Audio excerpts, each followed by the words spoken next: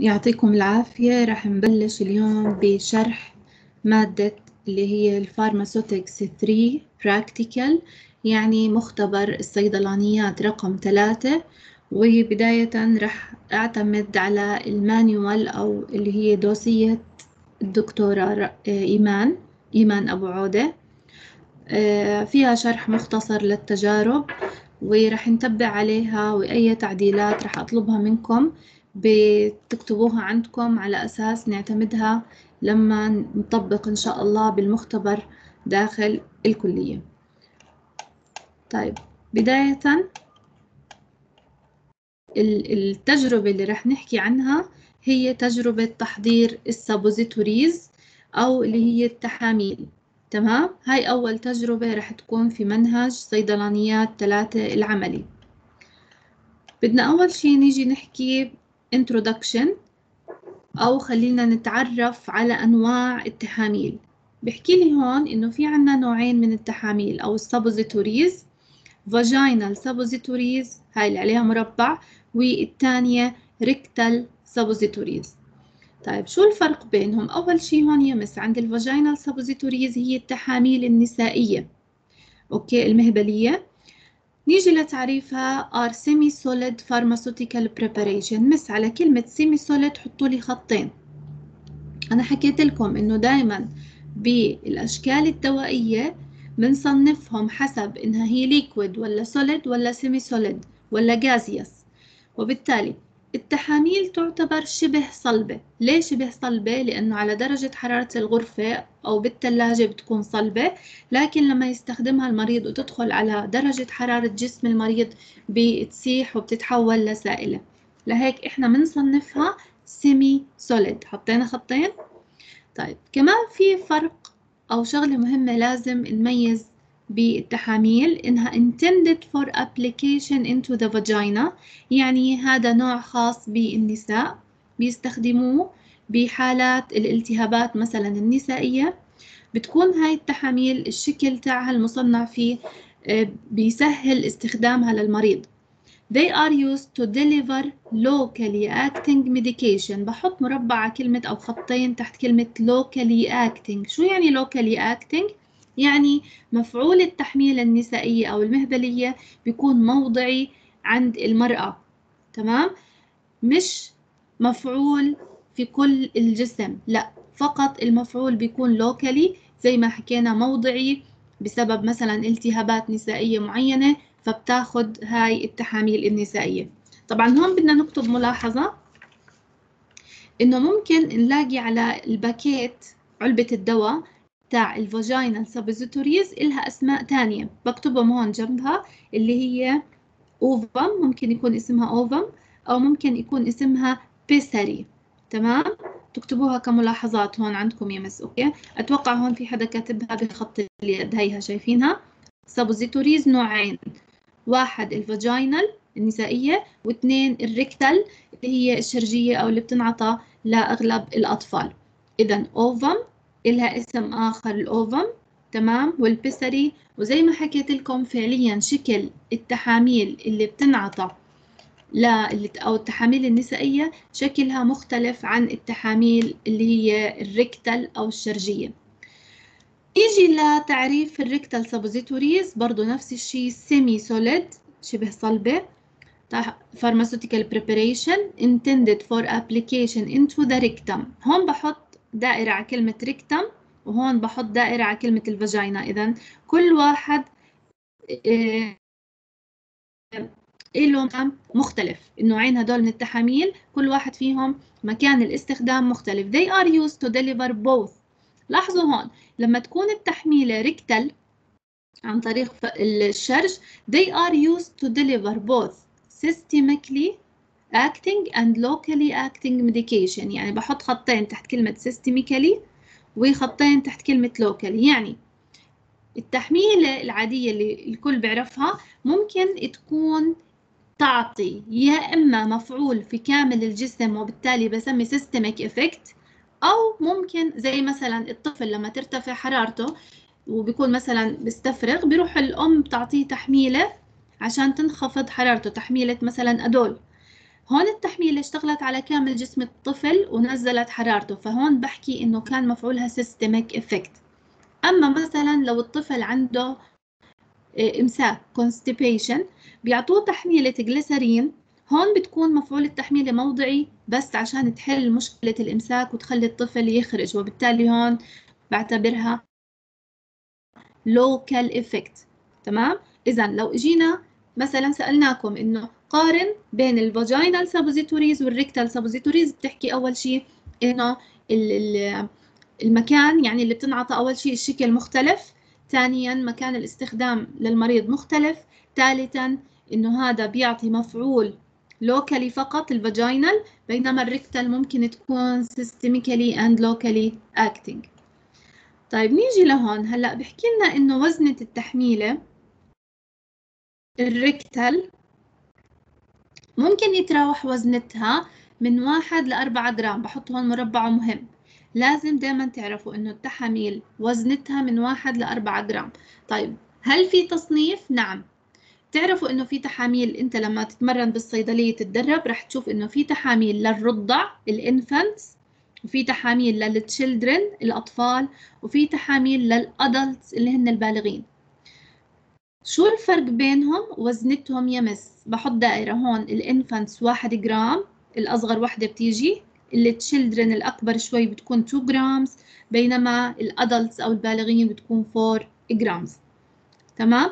إذا دائما بالأول بناخذ تعريف بشكل عام عن الشكل الصيدلاني. آه، في شغلة يا مس. هلا أنتم بدكم تعرفوا إنه لازم تربط بين المعلومات اللي بتاخذها بالنظري مع المعلومات اللي بتاخذها بالعملي. فبدكم ترجعوا للكتاب النظري اللي هو صيدلانيات ثلاثة. ترجع تراجع شوي اللي هو تعريف التحاميل أنواع القواعد اللي بنستخدمها بتحضيرة التحاميل زائد طرق تحضير التحاميل هي كلياتها بتنسألوا عليها حتى بالعملي. يعني صح إحنا مش ضايفينها بجزئية العملي ولكن لما تدخل على الامتحان الشامل لازم تراجعهم وتكون عارفهم. okay؟ لأنه ما في داعي نكرر. يعني أنت already بتاخذهم بالنظري خلاص لازم تكون عارفهم. ما رح نرجع نعيدهم بالعملي ولكن أنت مطالب فيهم. نيجي هلأ شوي نحكي عن الشكل اللي هو اللي إحنا رح نطبقه بالمختبر اللي هن ال glycerol suppositories تمام؟ BNF يعني حسب ال British ال British National Formulary اللي هو أحد المراجع آه، الدوائية. تحاميل الجليسيرول بالعربي. تحاميل الجليسيرول. أول شيء قبل ما نحكي عن هاي المركبات بدي أورجيكم ال Rx. إيش يعني Rx يا مس؟ Rx معناها الفورمولا أو خليني أشبه لكم إياها المقادير تاعت التحضيرة. مكونات ومقادير التحضيرة. لاحظوا إنه أول شيء أنا بحب أحكي عن ال Rx بعدين أرجع للتفاصيل تاعت كل مادة. بدنا نرقم يا مس وال Rx بدي إياكم دائما تكونوا حافظينها. لما أحكي لكم تحاميل الجليسرين مباشرة أقول لي بتتكون من جيلاتين جليسيرول هدول المادتين الأساسيات. هسه رح نحكي كل وحدة شو دورها بالتحضيرة. methyl paraben propyl paraben و purified water اللي هي المي. إذا برقمهم واحد اثنين ثلاث أربعة خمسة. طيب كمياتهم يا مس بنحفظهم؟ yes نحفظهم يا مس لأنه ممكن أحيانا تنسألوا عنها وممكن أحيانا يعني ما بتعرف الأسئلة ممكن كيف تيجي فأنت خليك بال safe side واحفظهم. لاحظوا إنه الجيلاتين كميته 14 جرام. طبعا ال Rx هاي مس واحد واحدة بكل الكتب كل ال manuals تاعت الصيدلة بتلاقيها نفس الوصفة هاي نفس التحضيرة. طيب لو سألتك التحضيرة كاملة كم كميتها؟ بتطلع up to 100 جرام. إذا هاي بتحضر لك 100 جرام من الكمية يعني من مادة التحاميل. أوكي؟ نيجي لكل وحدة أول شيء الجيلاتين. الجيلاتين 14 جرام. هو عبارة عن binder إيش يعني binder؟ يعني هو المادة الرابطة اللي راح تربط الجزيئات وتجمعهم على بعض. طبعا مهم جدا أحفظ كل ingredient أو كل مكون وشو دوره داخل التحضيرة. نيجي للجليسيرول طبعا الجيلاتين مس أنتم بتعرفوا الجيلاتين هو نفس مادة يعني بتعرفوا بالبيت لما بنعمل الجيلي هو فعليا المادة هي اللي بتشتروها بالباكيت وبتذوبوها بالمي السخن. هي هاي الجيلاتين. فهي مادة بتذوب بالمي السخنة وبتلاحظوا إنه بتغير قوام المي من سائل بجمد هيك. بتجمد بصير زي كأنه قوام هيك قوام متماسك. فعشان هيك إحنا بنسمي هاي المادة binder لأنها بتربط وبتجمع الجزيئات مع بعضها. نيجي للمادة الثانية اللي اسمها الجليسيرول. الجليسيرول هو سائل يمس شفاف هيك لزج شوي. له خاصية إنه هو humectant شو يعني humectant؟ يعني مادة ماصة للرطوبة. مادة بتعطي خاصية إنها بتسحب المي لا أو بت يعني بتسحب المي وبتمتص المي مكان ما هي موجودة. فخليني أفهمكم هي شو بتشتغل. هي ال active ingredient فعليا لاحظوا هون شو مكتوب جنبها؟ هي ال active ingredient يعني هي العنصر أو المادة الفعالة بتحضيرتي. لأنه غالبا هاي التحاميل بدي أحكي لكم هون شوفوا هون. glycerol suppositories إنتوا بتعرفوا إنه تحاميل الجليسيرول إيش بيستخدموها؟ غالبا لعلاج الإمساك يمس طيب إيش معنى إمساك؟ إمساك يعني إنه الشخص بصير في عنده إيه الإمساك يعني بصير الشخص عنده ال stool أو الإخراج أو الفضلات اللي متجمعة بالأمعاء كمية المي فيها قليلة فزي كأنها بتنشف فبصير صعوبة بإخراج هاي الفضلات. تمام؟ فهون بقولنا ال glycerol suppositories used as a laxative. بحط هون مربع كلمة laxative يعني هي عبارة عن آه، علاج للإمساك أو مسهلة. هذا أول استخدام لها رقم واحد. اثنين ممكن تكون base base يعني قاعدة لتحضيرات أخرى اللي هي ال vaginal suppositories يعني ممكن تكون هي قاعدة لتحضير التحميلة مهبلية ثانية تمام؟ طيب هلا ليش أنا حكيت لكم إنه الجليسيرول هو humectant أو مادة آه، مرطبة أو مادة تمتص الرطوبة إلى المكان اللي موجود هو فيه؟ زي ما قلت لكم ال stool أو الإخراج بيكون عند الشخص اللي عنده إمساك ناشف جاف. فلما بحطوا التحميلة هاي تاعت الجليسيرول بتصير المادة هاي الجليسيرول تجمع مي في منطقة الأمعاء. وبالتالي بيسهل على المريض إخراج الفضلات هاي. وضحت؟ طيب نيجي للمادة رقم ثلاثة وأربعة. هدول بنحفظ أي مقطع برابين معناتها مادة حافظة يمس ولاحظوا كميتهم جدا قليلة. أوكي؟ إذا دورهم preservatives يعني مواد حافظة وال purified water اللي هو المي أو ال liquid medium يعني المذيب الرئيسي للتحضيرة. بكمل التحضيرة ل 100 جرام. أوكي؟ إذا هون حكينا بشكل رئيسي شو هي تحضيرتنا اللي هي تحاميل الجليسرين الملينات. تمام؟ نرجع هسا بس كلام سريع بده يوصف لي كل وحدة من المكونات. بيقول لي الجيلاتين is translucent colorless brittle when dry. يعني الخصائص الفيزيائية تاعته.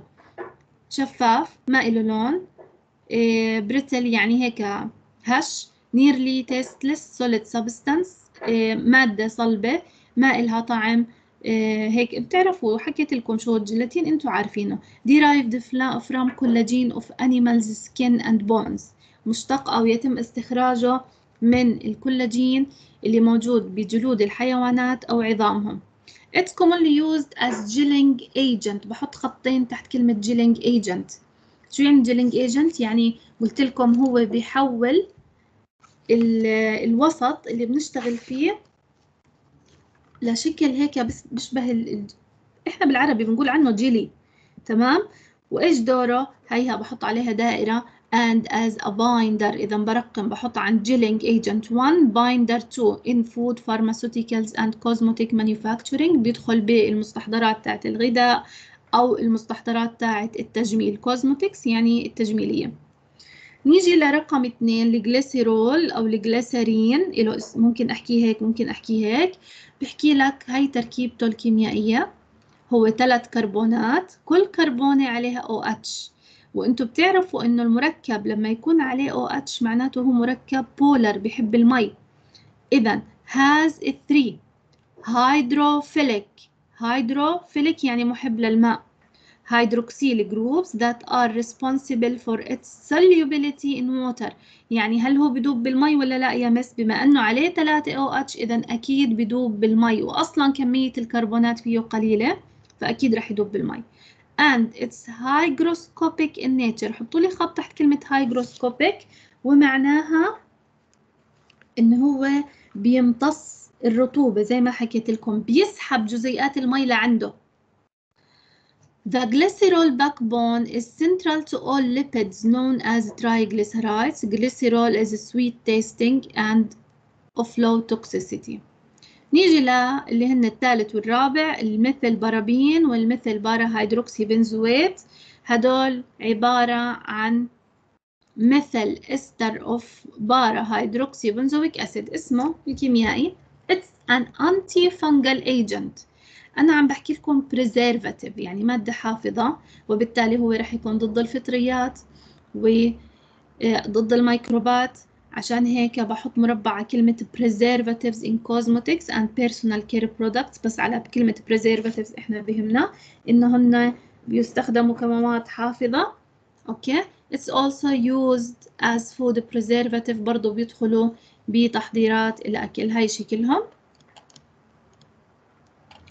نعطيك كمان propyl paraben propyl hydroxy benzoate هذا المركب اللي وراه اللي هو propyl ester of para hydroxybenzoic acid occurs as natural substance found in many plants and some insects يعني هو مركب طبيعي natural وبيكون موجود ببعض النباتات أو حتى بعض الحشرات. yet it's manufactured synthetically ممكن يتم تصنيعه for use as a preservative typically.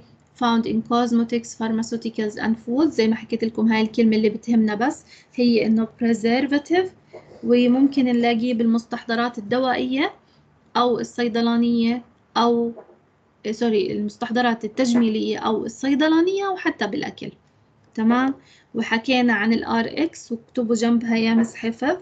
أوكي؟ وطبعا ال main use هذا هون بكتب عليه ال main use يعني الاستخدام الرئيسي لتحاميل الجليسيرول إنها laxative or base تمام؟ طبعا بقول لي إنه they are stored in cool dry place with temperature أقل من 25 شوي بس هون بدنا نراجع درجات الحرارة ورح ترجعوا تاخدوها بالرقابة الدوائية. إنه المصطلح المستخدم على ال package تاعت المادة الدوائية اللي انت بتشتغل فيها. لما يقول لك مصطلح انت لازم تعرف شو درجة الحرارة اللي بيقصدوا فيها. فلما يقول لك cold temperature معناته لازم تكون درجة الحرارة أقل من 8 وغالبا ال refrigerator الثلاجة بتكون الحرارة فيها من 2 ل 8 أما الفريزر مكتوبين طبعا هون كلهم مطلوب منكم حفظ ال cold temperature من وين لوين وال room temperature وال warm temperature وال excessive heat كلهم هدول مصطلحات انت لازم تعرف شو درجة الحرارة اللي بقصدوها فيها. طيب هون بده يجي بس يحكي لي شوية disadvantages عن اللي هن التحاميل تاعت الجليسرين يعني هو ما عم يحكي بشكل عام على كل التحاميل عم يحكي بس على هدول النوع على هذا النوع اللي إحنا بدنا نحضره. أول شي بحكي لنا hard to prepare and handle شوية في صعوبة بتحضيرته. Incompatible. آه هون بنتبه لهاي الكلمة. دائما لما يقول لي incompatible يعني في عدم توافق يعني ممكن تكون اختياراتي غير صحيحة. فلازم أعمل تحقق قبل ما أشتغل التحضيرة. إذا طيب هون incompatible في عدم توافق with certain ingredients such as the incompatibility between gelatin and tannic acid. هاي مهمة المعلومة. إنه يامس في عدم توافق بين تحاميل الجليسرين ومادة حمض التنك فما بحطهم بنفس التحضيرة بحط رقم هيها هي رقم واحد أو هون بالنقطة اثنين. Needs preservatives. لازم أحط مادة حافظة. لهيك أنتوا شفتوا بالتحضيرة إنه حطينا مادة حافظة. شو السبب يا مس؟ السبب إنه الجيلاتين مادة طبيعية وبالتالي ممكن يحصل عليها ميكروبات نمو ميكروبي. إذا because the gelatin is suitable medium بحط خط لأنه هو وسط مناسب للنمو الميكروبي. تمام؟ رقم ثلاثة hygroscopic وقلت لكم شو معنى hygroscopic مادة ماصة للرطوبة أو لجزيئات المي. وبالتالي هي رح تسحب المي جوا التحميلة. فإذا تركتها برا بالهواء شو رح يصير؟ رح تصير ممكن إنها تدوب أو ممكن إنه يتغير القوام تاعها.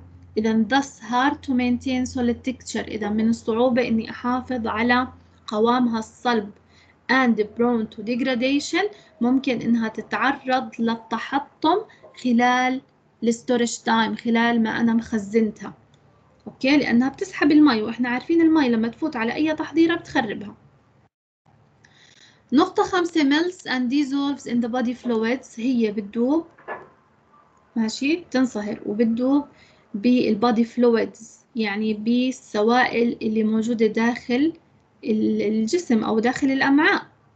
But it needs a relatively long time to melt dissolve and release the active ingredients. يعني هي بتدوب وبتنصهر على درجة حرارة الجسم اللي هي 37 درجة لكن بتحتاج وقت طويل إلى حد ما. يعني ممكن الشخص لما ياخد التحميلة أو الطفل اللي عنده إمساك لما نعطيه التحميلة ما بتشتغل بسرعة ممكن يحتاج لفترة نص ساعة أو 40 دقيقة لحتى تعمل إطلاق للمادة الفعالة اللي فيها ويبلش المريض يحس برغبته إنه يعني لازم يدخل على التواليت. Has a laxative هيها قلنا إنه هي أصلا مفعولها الأساسي إنها شو؟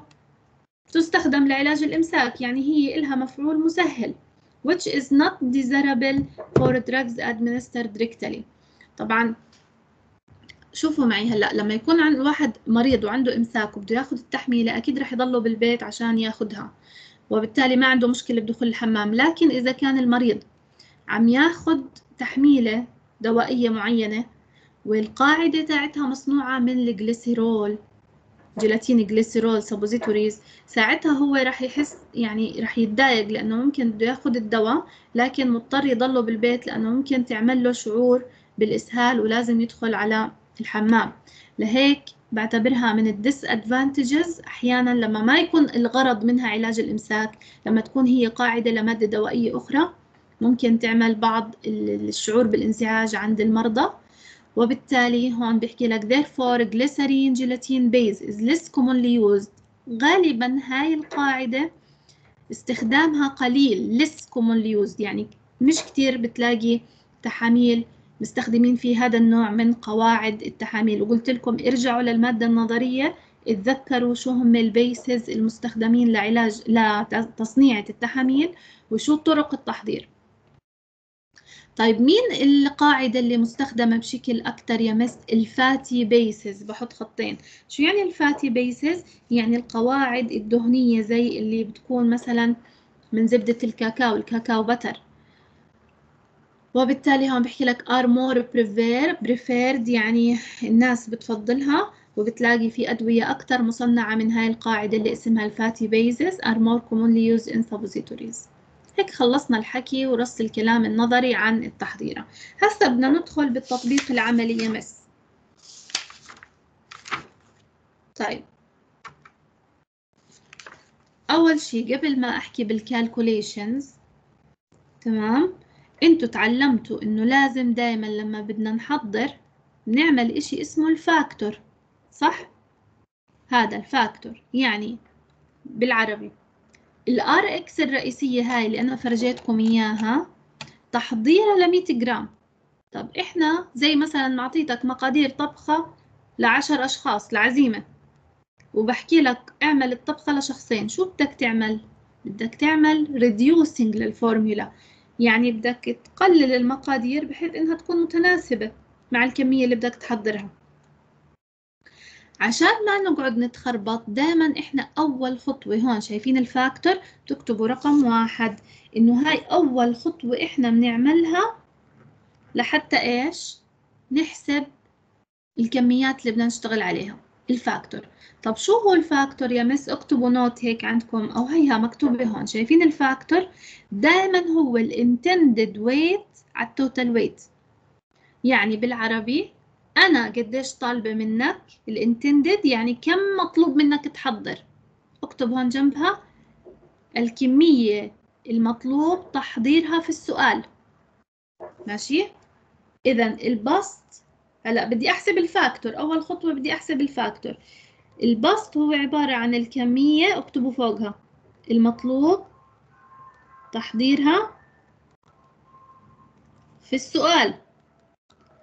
طيب ال total weight شو يعني ال total weight المقام؟ بكتب تحتها هي الكمية المكتوبة بال RX يعني الكمية الأصلية. طب نيجي هون نقرأ السؤال يا مس مع بعض. شوفوا أنا هون شو طالبة منك بالمثال. هذا مثال مش رح نطبقه بالمختبر بحكي لكم شو المطلوب منكم تطبيقه بالمختبر. To prepare six children suppositories. بدي إياك تحضر ست تحاميل للأطفال. ما بننسى إنه إحنا قلنا ال infant وزنة التحميلة تاعتهم واحد جرام وللأطفال 2 جرام ولل adult 4 جرام.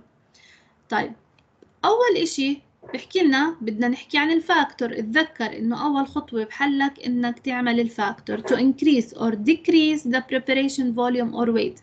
إحنا بنعمل ال factor عشان أنا أعمل المقادير اللي بتناسب التحضير اللي انطلبت مني. وبالتالي yet converting the ratios of active drugs and solvent use وبالتالي يمس شفتوا ال RX هاي الأصلية؟ هاي هون بكتب عليها ال RX الأصلية. هاي اللي بكون حافظتها أنا. طيب. باجي بعمل هسا ال RX الجديدة. برجع بعيد كتابة المكونات نفسهم يا مس عشان ما أخربط. شوفوا نفسهم واحد gelatin تطلعوش على الأرقام. على الأسماء هلا عم نحكي. واحد gelatin اثنين جليسيرول ثلاثة methyl paraben أربعة propyl paraben خمسة purified water مش نفس المكونات؟ إذا بدي أعيد هسه كتابة الفورميولا أو ال RX بس بشو؟ بالكميات تاعت تحضيرتي بالكميات تاعت الشغل اللي هسه أنا بدي أشتغله بالمختبر مثلا. أو بدي أكتب الكميات اللي انطلبت بالسؤال بدي أحسب هلأ بدي أحسب أعمل calculation طيب إذا نرجع أول خطوة. رقم واحد كتبنا ال factor. اكتبوا رقم واحد كتابة ال factor. رقم اثنين يا مس إعادة كتابة الفورميولا برجع بكتب المكونات كلها. طيب شو بعمل؟ طلعوا معي شو بعمل. أول شيء بدي أحسب ال factor. قلنا هي ال intended weight على ال total weight يعني الكمية المطلوبة بالسؤال على الكمية الموجودة بال RX الأصلية. طيب شو الكمية اللي طلبها مني؟ قديش الوزن المطلوبة مني؟ هو ما قال لي وزنة هو قال لي ست حبات تحاميل. طيب إذا أنا بعرف كل تحميلة ب 2 جرام. إذا بضرب 2 جرام اللي هي وزنة التحميلة الوحدة للطفل لل children ضرب 6 بيساوي 12 جرام. إذا أنا كم تحضيرتي 12 جرام؟ هيها بحطها بالبسط. كم الوزن اللي موجودة بال RX الأصلية حكيت لكم؟ هيها 100 جرام. طبعا ببسط بقسم على 2 بتصير 6 بقسم على 2 بتصير 50 باجي بضرب يمس برجع بعيد هسا مش ال RX هلأ بحسب ال RX. على ال calculation الجديدة ال RX الجديدة. بحط ال gelatin ماشي؟ وبضرب بال factor. كم هون كان ال gelatin بال RX الأصلية؟ شوفوها 14 بنزلها زي ما هي. إذا بنزل الكميات الأصلية بكتب أسماء المواد. بنزل الكميات الأصلية. هي شوفوا 14 70 0.001 جرام 0.005 جرام 100 جرام نزلتهم نفسهم. شو بسوي هسا؟ بس بكل بساطة بضرب بال factor. ضرب 6 على 50 ضرب 6 على 50 ضرب 6 على 50 ضرب 6 على 50 ضرب 6 على 50 وبجيب الآلة الحاسبة وبحسب الكميات الجديدة. هيك إحنا بنكون حسبنا ال RX الجديدة. وضحت؟ إذا ب calculation العملية مس. دايما بتشوف أنت شو انطلب منك كم التحضير اللي انطلبت منك وبتعمل ال factor اللي هو ال intended weight على ال total weight ترجع بتعيد ال RX بكل مكوناتها بتحط الكميات الأصلية اللي كانت موجودة بال RX الأصلية وبعدين بتضربهم بال factor. هيك بيطلعوا معك اللي هن المقادير الجديدة أو الكميات الجديدة. ماشي؟ طيب هون بس بدي أحكي لكم شغلة إنه إحنا لما نشتغل بالمختبر رح نشتغل رح نشتغل بالمادة الأولى هي جنبها صح والمادة الثانية جنبها صح. المادة الثالثة والرابعة ما رح نشتغل فيهم يا مس. هيها مكتوب جنبها لا تضاف. ما رح نضيفهم على التحضيرة okay لأنه إحنا يعني هاي تجربة أنت بس بدك تعملها تتعلم مهارة تصنيع التحاميل وخلص رح يعني نتلفها بعد هيك. والمي طبعا هي الوسط المذيب الرئيسي أكيد رح نستعملها.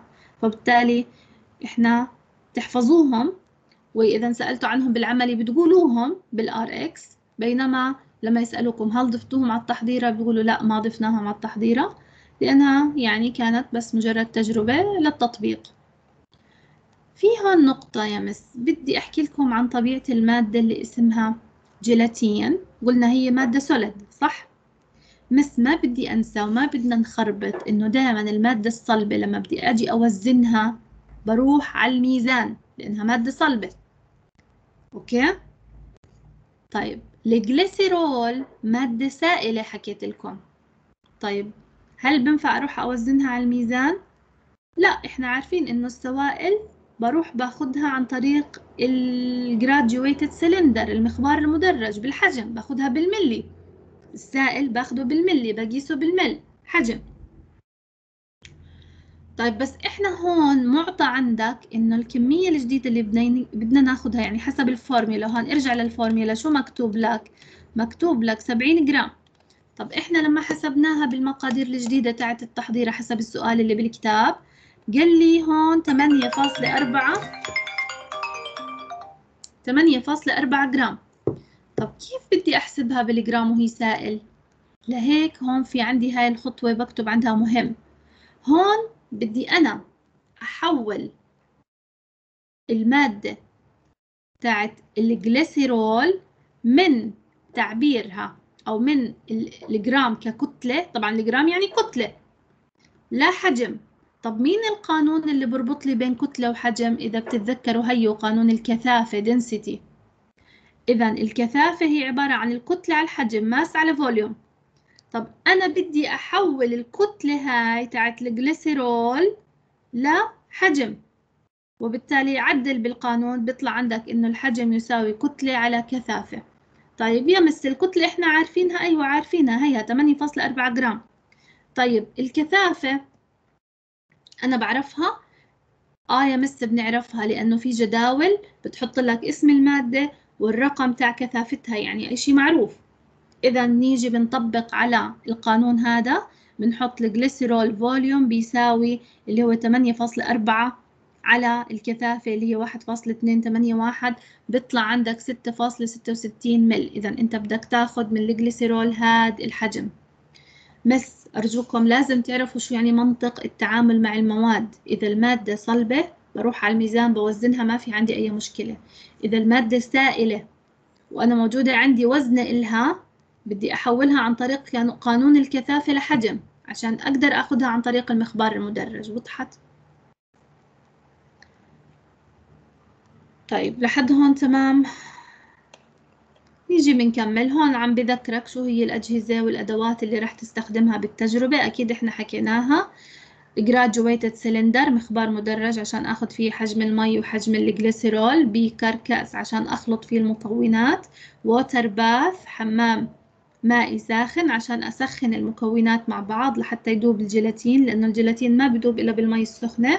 filter paper spatula electronic balance ميزان glass rod للتحريك suppository mold هذا مهم نعرفه اللي هو القالب يا miss اللي بصب فيه تحضيرتي بعد ما أصهرها عشان تاخد شكل التحميلة. وهون الثلاجة طبعا بنحط القالب جوا الثلاجة عشان تجمد التحاميل. وآخر شي بعد ما تفتح القالب اللي هو ال foil أو القصدير عشان تغلف فيها التحاميل. طيب هون بيجي بيحكي لي ال procedure. يعني خطوات العمل يا miss بشكل عام بقول لك إنه أول شي طبعا أنا رح أحكي لكم إياها بالمختبر حنعيدها بشكل سريع بالمختبر أول ما ندخل على المختبر بس أنتم المفروض هسه تكونوا دارسينها وعارفينها من الفيديو هذا. Soak the gelatin in hot water with good stirring. بقول لك دائما الجيلاتين بده مي سخنة عشان يدوب فيها. Uh, to prevent its adhesion to the beaker wall. وبدك تنتبه إنه ما يصير التصاق ل اللي هو شو اسمه هاد الجيلاتين على حواف أو على جدران البيكر.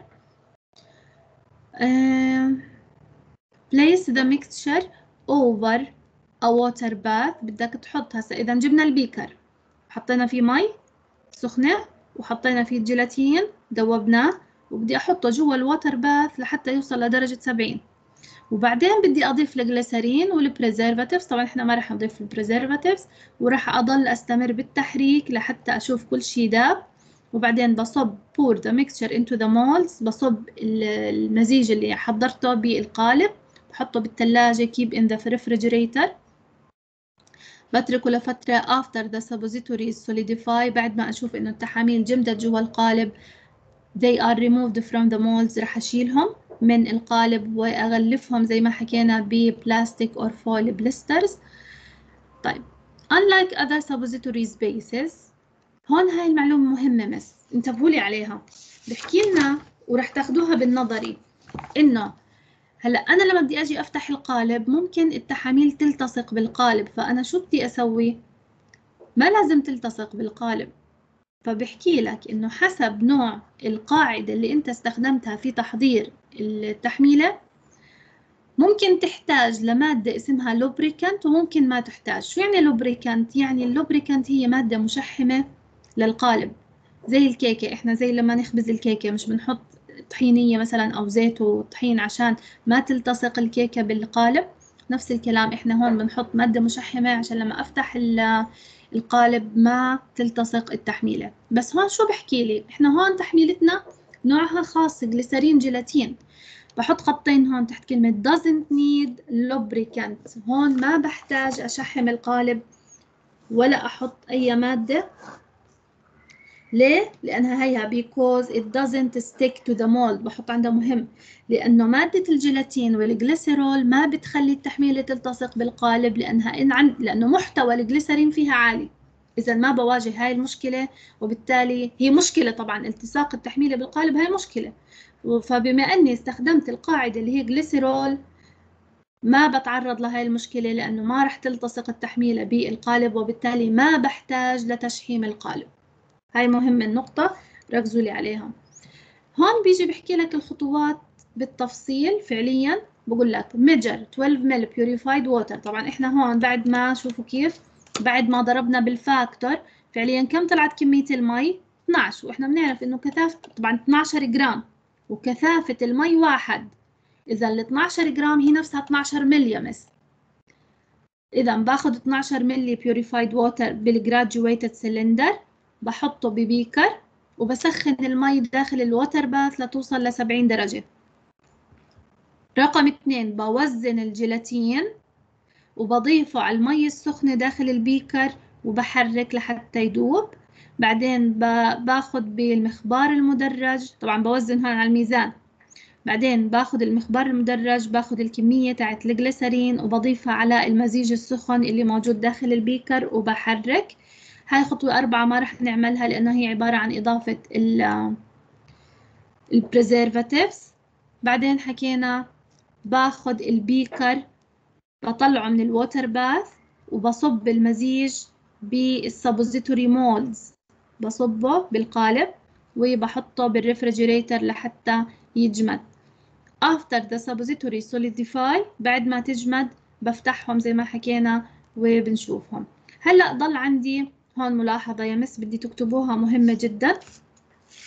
إنه أحيانا لما تيجي تصب أنت آه، التحاميل في القالب ممكن تنسكب المادة من إيدك.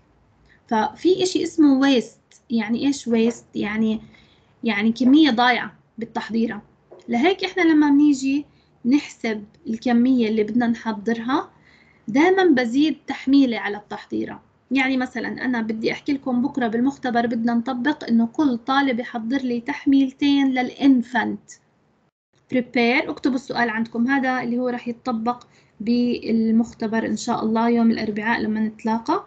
Prepare. Prepare to infant. اكتبوها عندكم. Suppositories.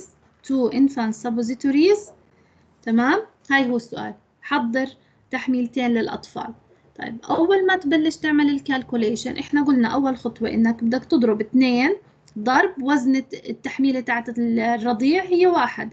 إذا نكمل وزن اثنين جرام صح؟ بس لا أنا بدي إياك دائما تزيد وحدة احتياطي بحال إحنا خربطنا بالشغل تكون الكمية كافية فعليا لتحضير التحاميل التنتين التحميلتين وبالتالي شو أنت بتيجي بتحسب لي؟ أنا قلت لك حضر اثنين زائد واحد بتضيف واحدة من التحاميل. اذا أنت فعليا بدك تعمل حسبتك على ثلاث تحاميل. أوكي؟ باجي بكمل ثلاثة ضرب واحد اللي هي ثلاث تحاميل. ضرب واحد وزنة كل تحميلة للرضيع اذا أنا بدي أحضر ثلاثة جرام. وضحت دائما وابدا. اكتبوا ملاحظة. يتم إضافة تحميلة واحدة في الحسابات. تمام؟ دائما. طيب آخر مقطع هون اللي هو ال labeling اللي هو بتعرفوا ال labeling يعني الأشياء اللي بكتبها على ال packaging. لاحظوا إنه miss دائما في شايفين هاي اللي هون على جهة الشمال؟ هاي بسميه main label اكتبوا فوقه main label واللي على اليمين هون اللي هو ال auxiliary label شو يعني؟ main label وش يعني auxiliary label يعني في معلومات أساسية زي هوية الدواء. أكيد بدي أكتب لاحظوا هون المعلومات اللي مكتوبة أشياء رئيسية.